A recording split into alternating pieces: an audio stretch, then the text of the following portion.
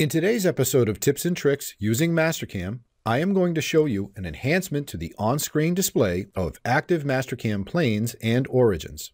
In previous versions, the item known as Screen Info would toggle the display of the axes lines, indicating the origin of the WCS and active planes, but all of the origins would turn on and off together, sometimes making for a confusing display. The same was true for the WCS TC Plane Axes command.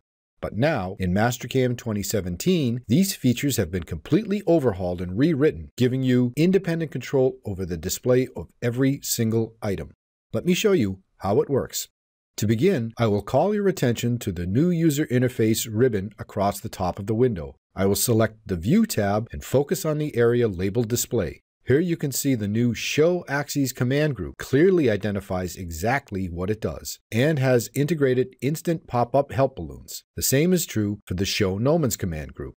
Next, watch how I can create my own new WCS exactly where I want it to be and turn off all the axes except the ones I want to see.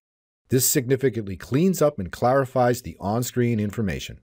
Finally, if I don't want to see any axes lines at all, but still want to see my active tool plane gnomon, I can simply check and uncheck the boxes that correspond with the items that I want. It's that easy.